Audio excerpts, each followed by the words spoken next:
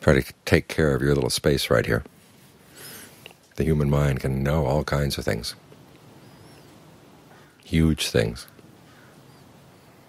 Can know all the way out to the universe, all the way back to almost to the Big Bang.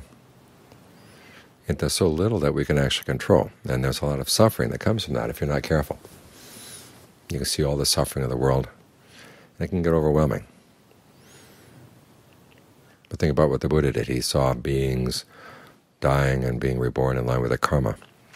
In a lot of cases, it was not a pretty sight. There's very few people who get to be reborn as devas and human beings, and an awful lot that go to the lower realms. And so he did the best thing, which is to get himself out of that and to show other people that they can get themselves out too. That's his best gift. You know, they say that he could have been a king, he could have been an emperor.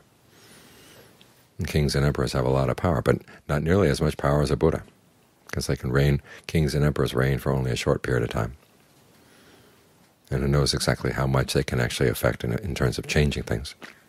And then it gets wiped out. You can think of King Ashoka.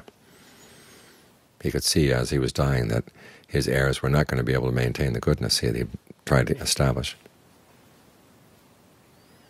But the Buddha had something better than just ordinary goodness. It was greatness. Total release available to all those who want it, if you work at it.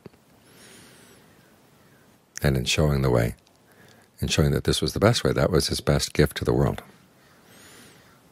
So when you think of all the things you can't change, like this wind out here, who knows how much longer it's going to blow and how much damage it's going to do? What can you do? You take shelter, and then when the wind is over, then you come out and check out what can be done. In the meantime, you've got to develop a lot of equanimity. Well, the winds of the world are even bigger than this wind.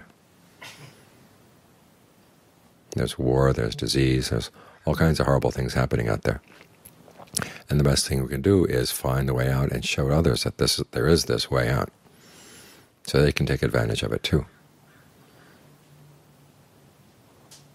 That way you keep your priorities straight and you focus your attention on what really can be done, most effective things that can be done, the best things, most compassionate things that can be done.